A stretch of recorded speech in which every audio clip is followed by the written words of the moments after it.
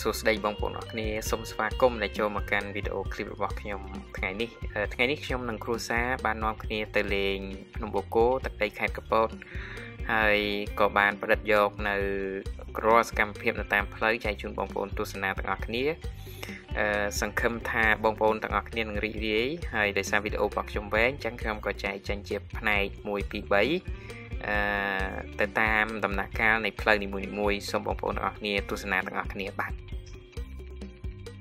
Hello everyone. Welcome back to my channel. Today I will bring you from Phnom Penh City to Kampot Province along the National Road number 3 Hope all of you enjoy in my video. Thank you